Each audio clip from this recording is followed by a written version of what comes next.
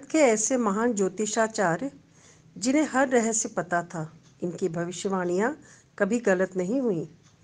भारत की महानतम भूमि ने ऐसे दिव्य रत्न प्रदान किए हैं, जिनकी मनीषा और विलक्षणता ने समस्त संसार को चौंका दिया है।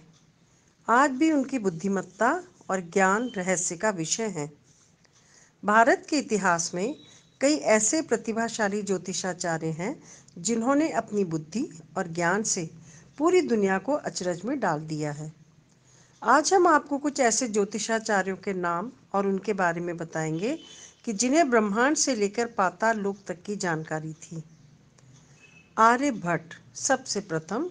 आर्यभट्ट को दुनिया प्रथम गणितज्ञ के रूप में जानती है।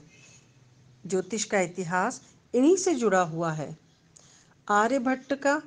आर्यभट्टीय तंत्र सबसे प्राचीन ज्योतिष ग्रंथों में से एक है। आर्यभट्ट के इस ग्रंथ में तारों और सूर्य की स्थिरता और पृथ्वी के घूमने का वर्णन है। आर्यभट्ट ही ऐसे प्रथम गणितज्ञ ज्योतिर्विद हैं जिनका ग्रंथ एवं विवरण प्राप्त होता है। ज्योतिष का क्रमबद्ध इतिहास इनके समय से ही मिलता है।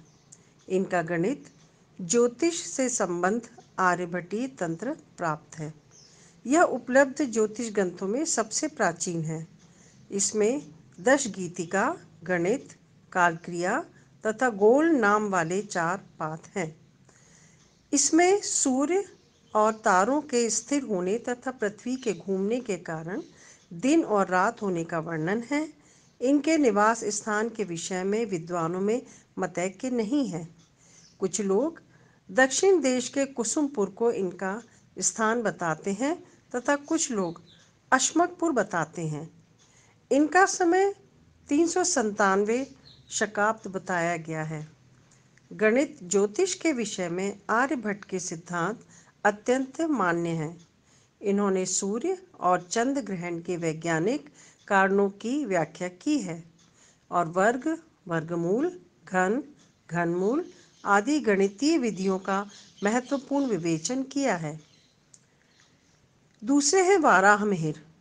ज्योतिष शास्त्र को सिद्धांत संहिता और होरा की स्पष्ट रूप से व्याख्या करने वाले वाराह मेहर को पहले ही आचार्य थे। वाराह मेहर को भारतीय ज्योतिष का मारतंड कहा जाता है। ज्योतिष शास्त्र संहिता और सिद्धांत को वारा मेहर ने और भी अधिक व्यवस्थित कर उसे वैज्ञानिक रूप प्रदान किया है। भगवान सूर्य के कृपा पात्र वाराह मिहिर ही पहले आचार्य हैं, जिन्होंने ज्योतिष शास्त्र को सिद्धांत, संहिता तथा होरा के रूप में स्पष्ट रूप से व्याख्यायित किया है। इन्होंने तीनों स्कंदों के निरूपण के लिए तीनों स्कंदों से संबद्ध अलग अलग ग्रंथों की रचना की। सिद्धांत, गणित, स्कंद में इनका प्रसिद्ध रचना है। पंच सिद्धांतिका संहिता स्कंद में बृहद संहिता तथा होरा स्कंद में बृहद जातक मुख्य रूप से परिगणित हैं। इन्हें शकाब्द 427 में विद्यमान बताया जाता है। ये उज्जैन के रहने वाले थे, इसलिए ये अवंतिकाचार्य भी कहलाते हैं। इनके पिता आदित्य दास थे। उनसे इन्होंने संपूर्ण ज्योतिर्ज्ञान प्राप्त किया। जैसे ग्रहों में सूर्य की स्थिति है, वैसे ही देवज्ञों में वाराह मेहर का स्थान है। वे सूर्य स्वरूप हैं। इनकी रचना, शैली संक्षिप्तता, सरलता, स्पष्टता गुणार्थ वक्तृता और पांडित्य आदि गुणों से परिपूर्ण है। इन्होंने तेरह ग्रंथों की रचनाएँ की हैं। इनका बृहद जातक ग्रंथ फलित शास्त्र का सर्वाधिक प्रौढ़ तथा प्रामाणिक ग्रंथ है। इस पर भट्टोत्पली आदि अनेक महत्वपूर्ण टीकाएँ हैं। आचार्य वाराह मेहर ने इस विज्ञान को अपनी प्रतिभा द्वारा बहुत विलक्षणता प्रदान की। ये भारतीय ज्योतिष शास्त्र के मारतंड कहे जाते हैं। यद्यपि आचार्य के समय तक नारद संहिता आदि में ज्योतिष शास्त्र संहिता, होरा तथा सिद्धांत इन तीन भागों में विभक्त हो चुका था।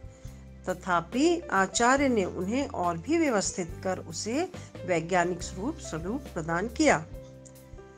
ज्योतिष के स्कंध स्थान से संबद्ध इनके पंच सिद्धांतिका नामक ग्रंथ की यह विशेषता है कि इसमें उन्होंने अपना कोई सिद्धांत न देकर अपने समय तक के पूर्ववर्ती पाँच आचार्यों, पितामह, वशिष्ठ, रोमश, पॉलिश तथा सूर्य के सिद्धांतों का संकलन कर महत्वपूर्ण कार्य किया।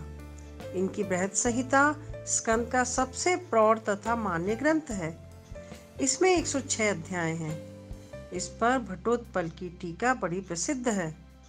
फलित ज्योतिष का बृहद जातक को, दैवज्ञों को कंठहार ही है। इसमें 28 अध्याय हैं। इसमें स्वल्प में ही फलित ज्योतिष के सभी पक्षों का प्रामाणिक वर्णन है।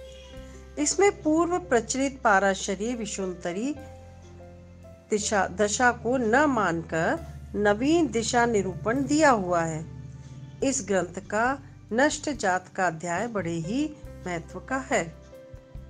नंबर तीन, पृथ्वीयश। आचार्य वाराह के पुत्र पृथ्वीयश भी भारत के महान ज्योतिषाचार्यों में से एक हैं। इन्होंने विरचित षट पंचाशिका के फलित ज्योतिष की रचना की इस ग्रंथ में सात अध्याय हैं।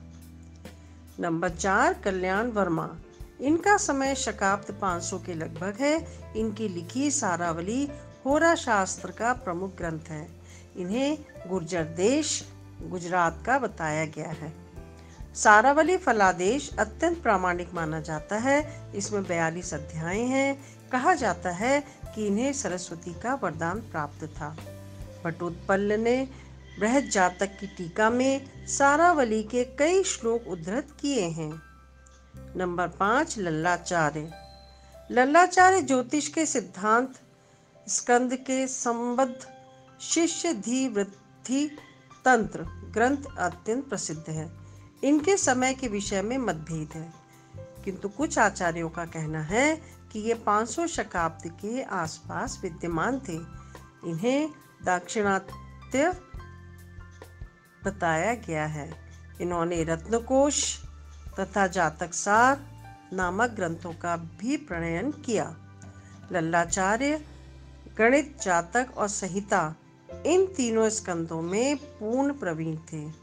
शिष्य धी वृद्धि तंत्र में प्रधान रूप से गणिताध्याय और गोलाध्याय ये दो प्रकरण हैं। गणिताध्याय में अनेक अधिकार हैं। भास्कराचार्य जी इनके ज्ञान से विशेष प्रभावित थे। नंबर छः भास्कराचार्य प्रथम। इनका समय 530 शकाब्द के आसपास का माना गया है। इनके महाभास्करीय तथा लघु भास्करी ये दो ग्रंथ हैं। आर्यभट्टी का भी इन्होंने व्याख्या किया था। ये लीलावती के लेखक प्रसिद्ध भास्कराचार्य से भिन्न है। नंबर सात, ब्रह्मगुप्त। महान गणितज्ञ आचार्य ब्रह्मगुप्त ब्रह्म सिद्धांत का विस्तार करने वाले हैं।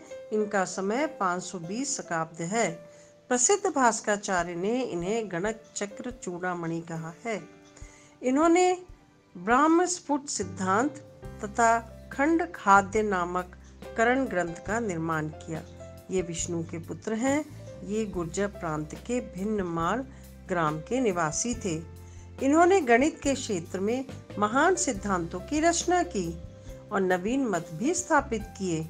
यह कहा जाता है कि ये तीन ही सिद्धांत गणित की पद्धतियाँ हैं। एक आर्य, दूसरा सौर्य तथा तीसरा ब्राह्म और इनके क्रमशः तीन ही आचार्य हुए हैं, आर्यभट्ट वारामहेर तथा ब्रह्मगुप्त। वे, ये वेद विद्या में अत्यंत निपुण और असाधारण विद्वान थे। इन्होंने बीज गणित के कई नियमों का आविष्कार किया, इसलिए ये गणित के प्रवर्तक कहे गए हैं। अल बरूनी ने इनके गणित ज्ञान की बहुत प्रशंसा की है। ये आर्यभट्ट से उपकृत भी थे, किंतु खंड खाद्य में इनके अनेक मतों का प्रबल विरोध भी इन्होंने किया है। श्री धराचार्य, बीज गणित के ज्योतिर्विदों में श्रीधराचार्य का स्थान अन्यतम है। इनके त्रिशतिका पाटीगणित, बीज गणित, जातक पद्धति तथा रत्नमाला आदि प्रसिद्ध ग्रंथ हैं। परवर्ती भास्कराचार्य आदि इनके सिद्धांतों से बहुत उपकृत हैं। वित्तेश्वर। करणसार नामक इनका ग्रंथ बहुत प्रसिद्ध है। यह ग्रंथ आर्यभट्ट के सिद्धांतों का अनुगमन करता है। नंबर दस, मुंजाल। मध्याधिकार, स्पष्टाधिकार आदि आठ प्रकरणों में विभक्त लघुमानस करण ग्रंथ के रचयिता मुंजाल का ज्योतिष जगत में महान आदर है। ये भारद्वाज गोत्रीय थे। अयनांशी निरूपण में इनका विशिष्ट योगदान रहा है। प्रतिपाद्य विषय गणित होने पर भी इस ग्रंथ की शैली बड़ी रोचक तथा सुगम है। भारत के इन महान ज्योतिषियों और ज्योतिर्विदों ने हिंदू ज्योतिष को एक नई दिशा प्रदान की है। इनके कारण ही आज ज्योतिष का इतना विकास हो पाया है। दोस्तों, आपको यह जानकारी पसंद आई हो तो कृपया लाइक करें और सब्सक्राइब भी करें। धन्यवाद। आपका दिन शुभ हो।